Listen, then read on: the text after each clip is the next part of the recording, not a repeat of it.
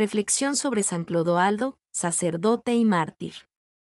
San Clodoaldo fue un sacerdote y mártir del siglo VI que es venerado como santo en la Iglesia Católica. Nació en una familia noble en Francia, y era hermano de los reyes Clodoveo y Childeberto y Clodoaldo se convirtió al cristianismo a una edad temprana, y fue ordenado sacerdote. Sirvió como sacerdote en la diócesis de Noyon, Francia. Clodoaldo fue un sacerdote celoso y dedicado, y predicó el Evangelio con gran celo. También fue un firme defensor de la fe católica, y se opuso a la herejía arriana. En el año 560, Clodoaldo fue asesinado por los arrianos mientras celebraba la misa. Fue enterrado en la Catedral de Noyon, Francia. San Clodoaldo es un modelo de santidad y celo sacerdotal.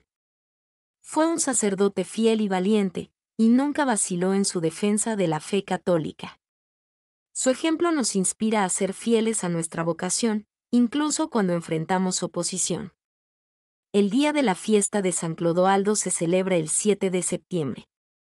En este día, podemos rezarle por intercesión y pedirle ayuda para vivir nuestras vidas de acuerdo con la voluntad de Dios. Oración. A San Clodoaldo o San Clodoaldo, sacerdote y mártir, tú que fuiste un fiel servidor de Dios y un valiente defensor de la fe católica, ruega por nosotros que estamos luchando por vivir nuestra fe en el mundo de hoy. Ayúdanos a ser fieles a nuestra vocación, incluso cuando enfrentemos oposición. Ayúdanos a ser testigos del amor de Cristo, en nuestras palabras y acciones.